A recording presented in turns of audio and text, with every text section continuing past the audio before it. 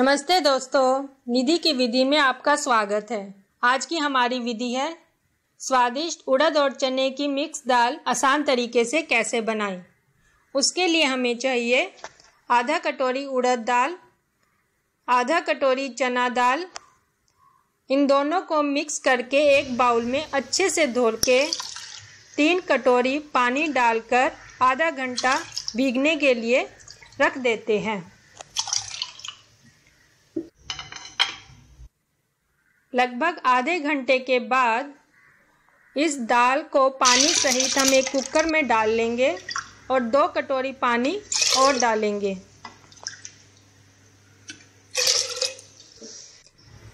अब इसमें दो टीस्पून हल्दी powder, one and half teaspoon नमक और एक चौथाई चम्मच हींग डालेंगे। अब कुकर को बंद करके गैस पर उबलने के लिए रख देते हैं। एक विसल आने के बाद हम गैस को एकदम धीरे कर देंगे और 15 मिनट तक उसी मध्यम आँच में दाल को पकने देंगे। दाल हमारी पक चुकी है। अब हम इसका चौंक तैयार करेंगे सीजनिंग और तड़का तैयार करेंगे। उसके लिए हमें एक मीडियम साइज़ प्याज चाहिए, बारीक कटा हुआ हरा धनिया और हरी मिर्च लंबाई में कटी हुई। एक पैन में दो टेबलस्पून घी लेते हैं। जब घी अच्छे से गर्म हो जाएगा, तब इसमें हम one and half teaspoon जीरा डालेंगे।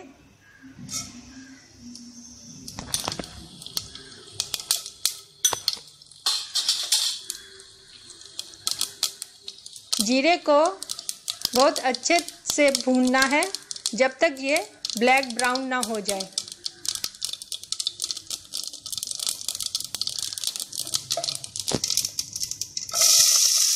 जीरा हमारा ब्लैक ब्राउन हो गया है। अब हम इसमें कटा हुआ प्याज और हरी मिर्च डालेंगे।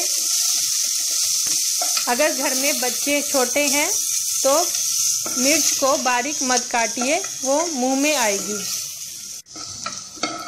प्याज को भी बहुत अच्छे से भूनना है। इसको भी डार्क ब्राउन करना है।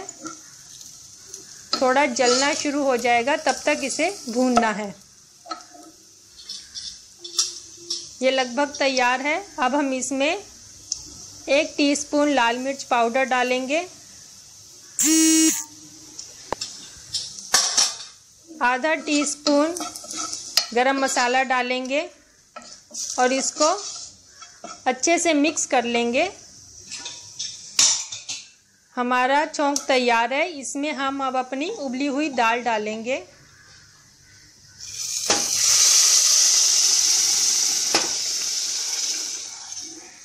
दाल डालते समय गैस को धीरे कर लीजिए ताकि दाल के छींटे आपके ऊपर ना गिरे। इसको आधा मिनट तक हम पकाएँगे ताकि चौंक इसके अंदर अच्छे से मिक्स हो जाए।